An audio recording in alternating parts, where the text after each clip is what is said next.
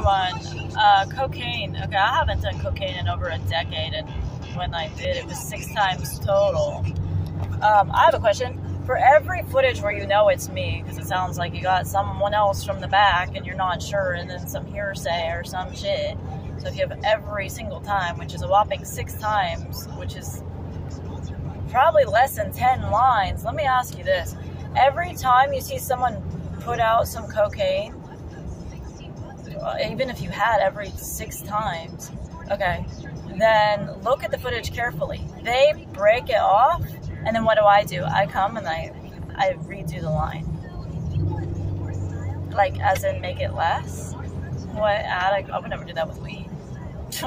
you want to pack me a big fat joint? I'm gonna smoke a big fat joint. So, what kind of addict would go, oh, you know, just a little bit less than what you offered? Bullshit. So, go ahead, take all the footage where you know it's me. All six times max is what what do you have like two times on tape? Okay, well then look at it, and the majority of the time uh, they would put a line and I'd go and I'd half it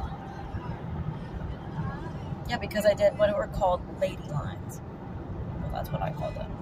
And what six times? It's not even my drug of choice. Like this is so retarded you're 10, you're 10, and the world still wants to act like my parents. And they don't act like those.